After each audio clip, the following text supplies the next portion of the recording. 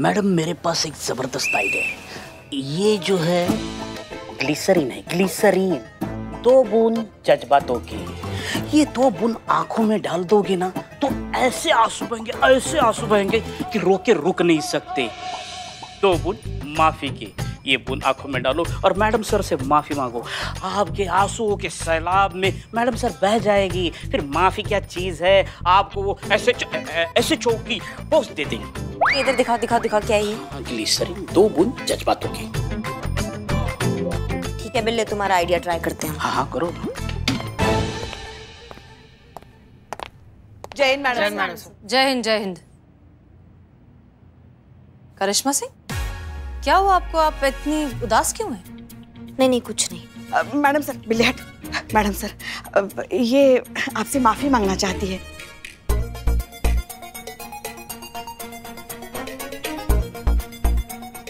देखिए ना अंदर से कितनी दुखी है। इसलिए आ जाइए अच्छा ठीक है आइए केबिन में बैठ के बात करते हैं। द दो बूंद मैडम दो बूंद दो बूंद जज्बातों की। हाँ समझ हाँ दो बूंद। जी करिश्मा सिंह अब कहिए। हमें माफ़ कर दीजिए मैडम सर आप हम हम बहुत शर्मिंदा है।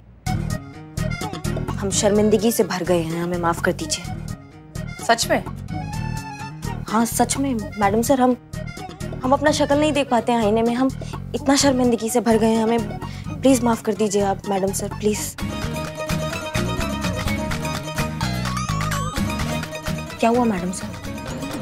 नहीं, हम हमें बहुत खुशी हुई है जानकर कि आपको सच में अपने किए का पछतावा हो रहा है। लेकिन सच कहें तो हमें इस बार आपकी बात पर पूरी तरीके से यकीन नहीं हो रहा है। हाँ? यकीन नहीं है मैडम सर, हम आपको कैसे यकीन दिलाए कि हम सचमुच बहुत शर्मिंदा है?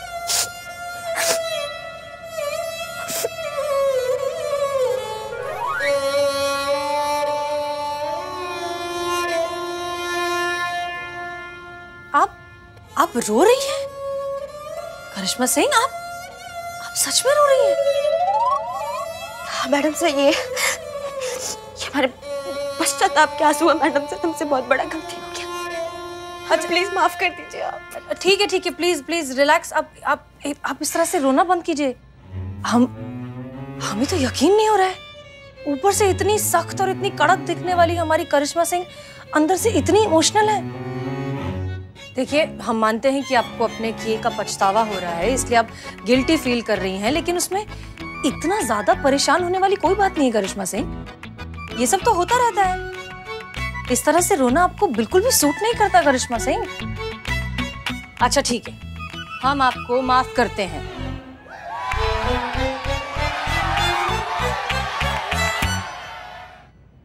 ठीक है ठीक है। हमने आपको माफ़ कर दिया। रिलैक्स, अब रोना बंद करिए, ओके?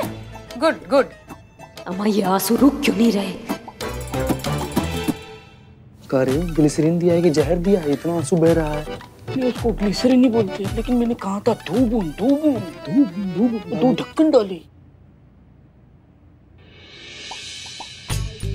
क्या हुआ? अरे हमने आपको माफ़ कर तो दिया। हाँ। अब तो रोना बंद कीजिए रोकिए खुद को। नहीं रुकेंगे मैडम सर। डोज ज़्यादा हो गया। क्या?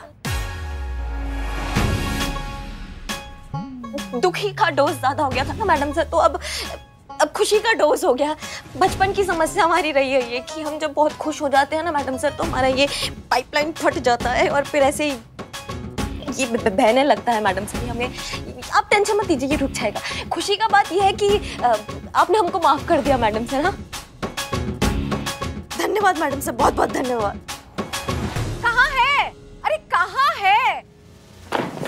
है एस एच ओ मैडम कहाँ है?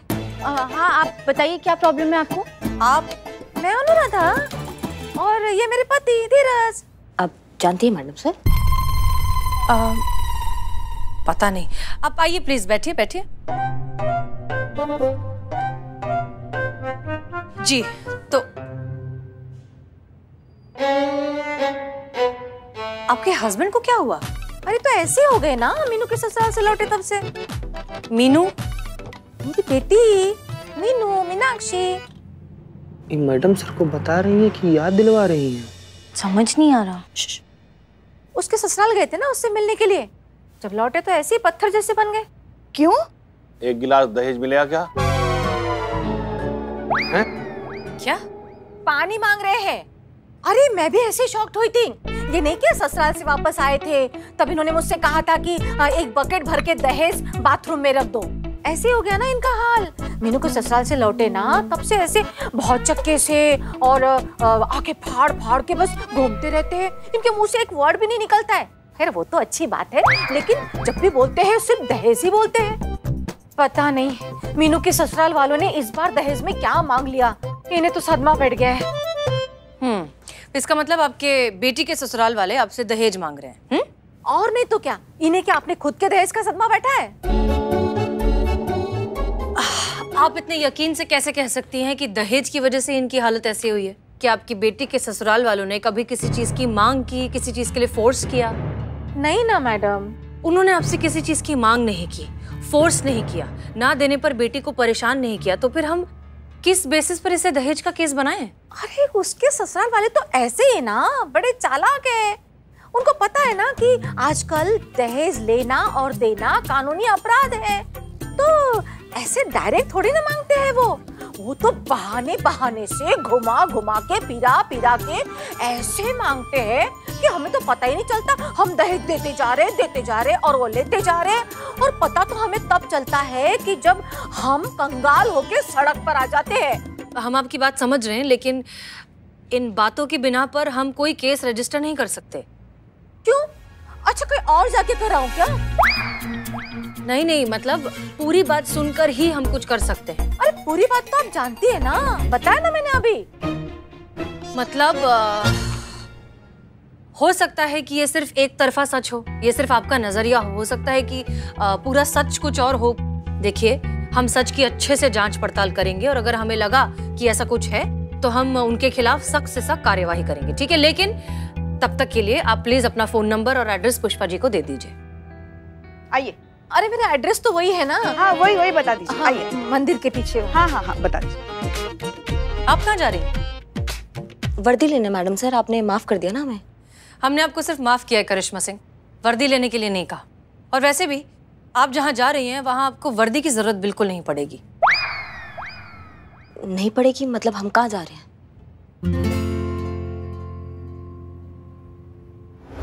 बदनाम भाई। क्या है बे? क्या हैंडसम लग रहे हो यार। अरे वो तो मैं बचपन से हूँ कोई शक।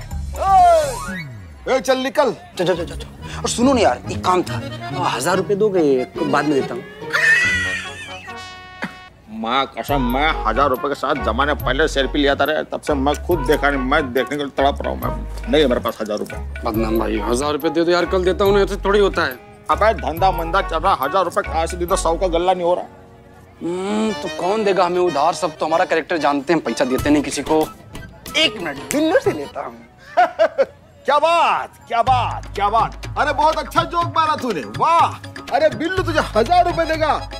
इम्पॉसिबल हमें नहीं देगा इकबाल को। लेकिन डिम्पल भाभी को तो दे दो ना। हैं? कौन डिम्पल भाभी? ये फालतू आदमी अपनी बीवी को भूल गया? डिम्पल दिखने में बिल्कुल सिंपल है। भाभी जी का फ़ोन।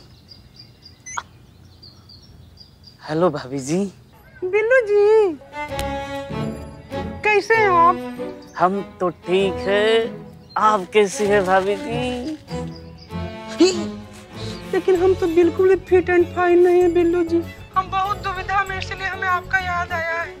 कहे ना बिल्लू जी हमको जरा देख दो हज़ार रुपया चाहिए था। नहीं हमको तीन हज़ार रुपया चाहिए था तो हमें तो अपना और कोई खास नज़र आया नहीं तो इसीलिए हम आपको फ़ोन किए। तीन हज़ार?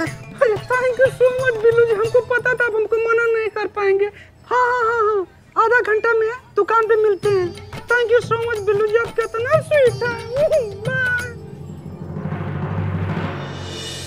भाभी जी भाभी जी आपने हमें याद किया और हम हाजिर हैं। भाभी जी। आ, बदनाम भाई नहीं दिख रहे वैसे तो उस इंसान को दुनिया में ही नहीं दिखना चाहिए। आ, पर फ़िलहाल कहाँ है वो? वो कोनो काम से बाहर गए हुए हैं? अभी आते होंगे। भाभी जी जब से आपको देखा है ना हम काम से गए हैं। पैसा लाए हैं। लाए लाए भाभी जी, आपने कहा और हम ना करें, ऐसे हो ही नहीं सकता। हम पैसे लाए हैं, लेकिन एक दिक्कत है, पैसे सिर्फ़ दो हज़ार नौ सौ निन्यानवे है।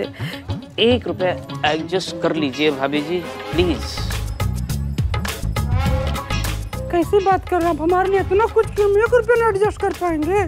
कर लेंगे, चलिए। अच्छा आप बैठिए, हम आपके लिए चाय बना के लाते हैं। बैठिए ना।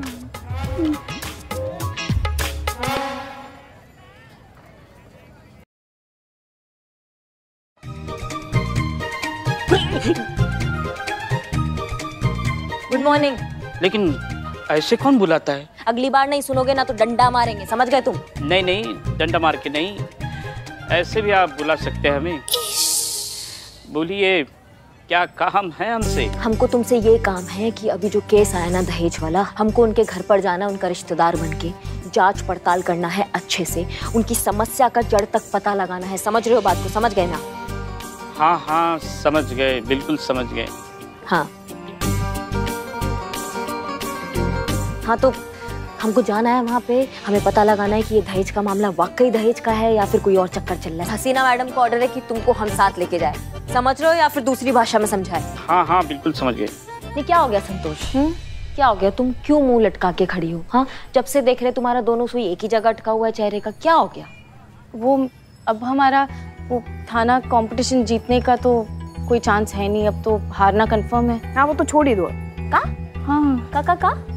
नहीं मतलब अब आपने ड्यूटी ज्वाइन कर ली है इन्वेस्टिगेशन करने जा रही हैं आप, और अगर वाकई ये मामला दहेज का निकला तो केस फ़ाइल होगी। एक केस फ़ाइल होगी तो और भी केसेस आएँगे, और फिर तो हारना तय है ना। संतु, ऐसा तुम्हें किसने कहा कि हमने ड्यूटी ज्वाइन कर लिया तो यहाँ पे एफआईआर आएगा? हमने ड्यूटी ज्वाइन ही इसलिए किया है ताकि एफआईआर थाने में ना आए।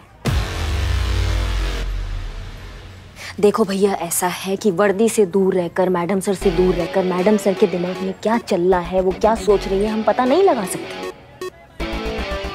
इसीलिए हम थाना में रहेंगे, मैडम सर के आसपास रहेंगे, ताकि हमें समझ में आए कि उनके दिमाग में क्या चल रहा है, और फिर हम अपने तरीका से अपना ड्यूटी कर सकें। समझ रहे हो बात को? ये प्लान है। इसलिए तुम संतु, बिल्कुल निश्चिंत हो जाओ स्माइल वापस आना चाहिए तुम्हारे चेहरे पे। जब तक हमारा थाना प्रतियोगिता नहीं जीत जाता ना, तब तक कोई एफआईआर इस थाना में दर्ज नहीं होगी। हमने संकल्प लिया है ना प्राण दे देंगे लेकिन इस संकल्प को हम पूरा करेंगे। नहीं नहीं फिर केस का क्या होगा? अगर वो लोग वाकई में दहेज के लालची निकले तो क्या उनको हम ऐसे ही जाने देंगे? पुष्पा जी हमारा सबसे पहले दायित्व है ना हमारी ड्यूटी के लिए हमारी वर्दी के लिए बाकी सब बाद में। इसलिए जिस शिद्दत से आज तक हम अपनी ड्यूटी निभाते आए हैं आगे भी उसी शिद्दत से निभाएँगे। बेगुनाह पर आज नहीं आने देंगे और गुनेगार को ना हम छोड़ेंगे। इसलिए अगर ये मामला दहेज का निकला ना पुष्पा जी तो हम मैया कसम खाकर कहते हैं हम किसी को नहीं छोड़ेंगे। इंसाफ होगा। इंसाफ हम करेंगे लेकिन बिना रिपोर्ट का इंसाफ।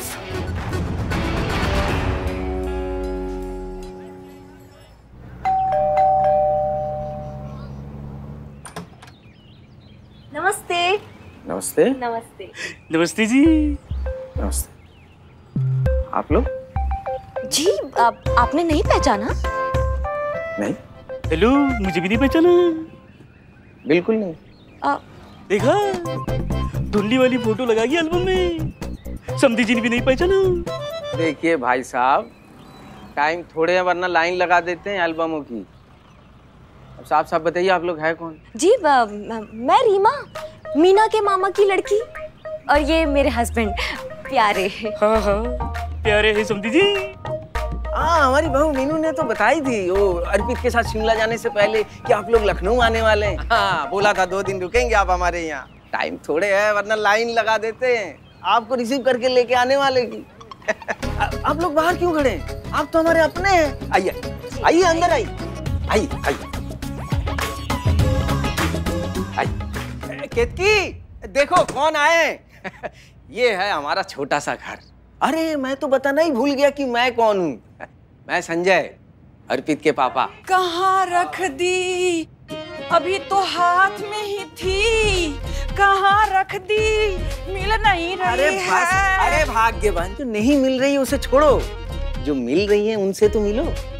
हमारी बहू मीनू के परिवार वाले हैं उनके घर से आए हैं। अ, मैं मैं रीमा। हाँ रीमा। और ये मेरे हस्बैंड प्यारे जी। हाँ, बड़े प्यारे हैं। और ये जो रीमा है ये मीनू के मामा की बेटी है। हाँ। अ, घर ढूँढने में कोई परेशानी नहीं हुई ना? तकलीफ़ किस बात की? यहाँ से यहाँ तो आना था। अमीनाबाद से ऑटो ली दो मिनट सर से इधर। एक मिनट एक मिनट एक मिनट।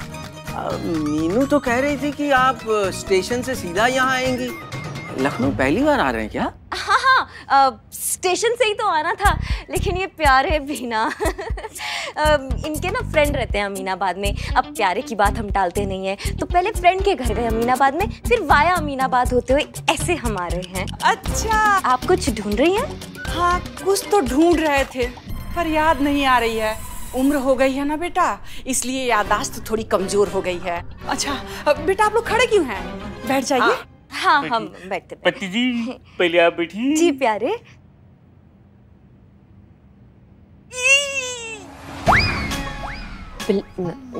प्यारे क्या हुआ? एक मिनट जी।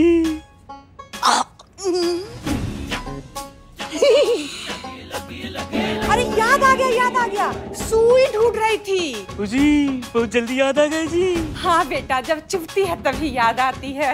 और कुछ भूली तो नहीं बैठने से पहले बता दीजिए। नहीं बेटा बस एक ही थी। बैठ जाओ। अब क्या कहे इनका? इनका तो रोज का है। यहीं बैठ के सिलती रहती है। और यही ये सुई जो है ये भूल जाती है छोड़ देती है वहीं पर। अब बेचारी हमारी बहू मीनू की क्या गलती है बताइए? यहीं बैठ जाती है चुप जाती है उसे कितनी तकलीफ़ होती है? क्या है ना बेटा? अगर ये सोफे सारे सफ़ेद रंग के होते ना तो कोई परेशानी नहीं होती। लेकिन भाई टाइम थोड़ा है वरना लाइन लगा देते। सफ़ेद सोफों की? अच्छा अच्छा। हाँ, लेकिन जो है मीनू की डैडी जी के हाथ में है उनकी बेटी है। अगर वो अपनी बेटी को कुछ देना चाहे तो हम बीच में दखल नहीं देंगे हम मना थोड़ी करेंगे। नहीं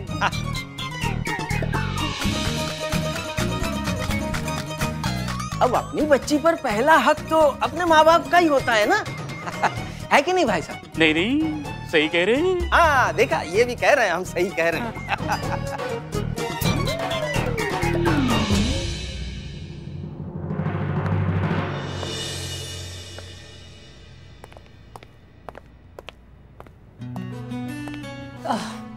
जय हिंद सर। जय हिंद कैसी हैं आप? हम ठीक है सर। आप बुरे तो हम भी नहीं है। बस हालात कभी कभी हमें बुरा बना देते हैं। क्षमा चाहते हैं आपको प्रतीक्षा करनी पड़ी। वो क्या है कि अंदर आईजी साहब की एक ज़रूरी मीटिंग चल रही है। No problem sir I understand आइए थोड़ा आगे चल के बात करते हैं। आइए। ठीक है। क्या हुआ सर हसीना जी अ, आपके लिए एक बुरी खबर है। अच्छा। ज़िंदगी में अब तो इतनी बुरी खबरें सुन ली है सर कि कोई भी खबर उतनी बुरी नहीं लगती। बताइए, इस बार आप कौन सी बुरी खबर देना चाहते हैं? हमने आईजी साहब को यह ज़िक्र करते हुए सुना कि अगर आपका थाना बेस्ट थाना प्रतियोगिता नहीं जीत पाता है तो आपका थाना बंद करने की सोच रहे हैं। क्योंकि उनका यह मानना है कि प्रतियोगिता का परिणाम ही इस बात को सिद्ध कर देता है। कि इस शहर को आपके थाने की आवश्यकता है या नहीं। ये पुलिस डिपार्टमेंट हमारे थाने के पीछे क्यों पड़ा रहता है हर वक्त? अब एनीवेज सर आप क्या सोच रहे हैं? वही जो आप सोच रही हैं। आपका थाना हरगिज बंद नहीं होना चाहिए। हमसे बेहतर और कौन जानता होगा कि इस शहर को आपके थाने की कितनी आवश्यकता है? इसलिए हम चाहते हैं कि आपका थाना ये प्रतियोगिता जीत जाए और यूँ ही पूरी निष्ठा के साथ अपना फ़र्ज़ निभाता रहे।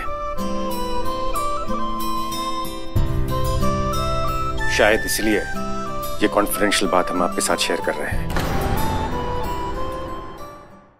आप अपने ही सिद्धांतों के खिलाफ जा रहे हैं सर। हमें तो लगा था कि आपके लिए अपने फ़र्ज़ से ऊपर कुछ भी नहीं। अब भी नहीं है हसीना मलिक। हम आपके साथ एक कॉन्फिडेंशियल बात इसलिए शेयर कर रहे हैं क्योंकि हम नहीं चाहते कि आपका थाना बंद हो। क्योंकि हम अच्छी तरह से जानते हैं कि एक आम शहरी की कितनी सारी उम्मीदें आपके थाने के साथ जुड़ी है। इंसाफ के लिए लोगों की नज़रें आपके थाने की तरफ़ होती है। क्योंकि उन्हें पूरा विश्वास है कि उन्हें कहीं इंसाफ मिले या ना मिले, आपके थाने में ज़रूर मिलेगा। कोई सुने या ना सुने, उनकी आवाज़ आपके थाने में ज़रूर सुनी जाएगी।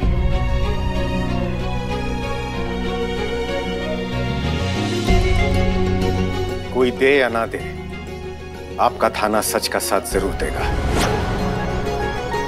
इसलिए कॉन्फिडेंशियल बात हम आपके साथ शेयर कर रहे हैं। क्योंकि ऐसा करके हम आपकी नहीं, समाज की सेवा कर रहे हैं। अच्छा लगा हमें ये जानकर, सर, कि आप हमारे महिला पुलिस थाने की इतनी वैल्यू करते हैं। हमारे डेडिकेशन को, हमारे इंटेंशन को इतने अच्छे से समझते हैं। लेकिन अनफॉर्चुनेटली सर, आज के ज़माने में प्रोडक्ट से ज़्यादा एड्स बिकते हैं। तो ऐसे में हमारे थाने की ईमानदारी को कोई कैसे समझेगा? और वैसे भी हम चाहें भी तब भी ये कंपटीशन जीतना हमारे लिए बहुत मुश्किल है सर क्योंकि बाकी पुलिस थाने इस कंपटीशन को जीतने के लिए किसी भी हद तक जाने को तैयार है। आप अच्छे से जानते हैं कि इस कंपटीशन में हिस्सा लेने के लिए ऑफिशियल क्राइम ग्राफ लो होना चाहिए। इसलिए कुछ पुलिस थानों ने रिपोर्ट लिखना ही बंद कर दिया है। जब रिपोर्ट ही नहीं लिखेंगे तो क्राइम ग्राफ तो अपने आप ही लो हो जाएगा ना। और आप अच्छे से जानते हैं सर कि इस तरह के पैंतरे हमारा महिला पुलिस थाना कभी नहीं अपनाएगा। इसलिए हो सकता है कि ये कंपटीशन हम जीत ना पाए। फिर भी आपने हमारे लिए इतना कंसर्न दिखाया, उसके लिए बहुत बहुत शुक्रिया। जय हिंद, सर। जय हिंद।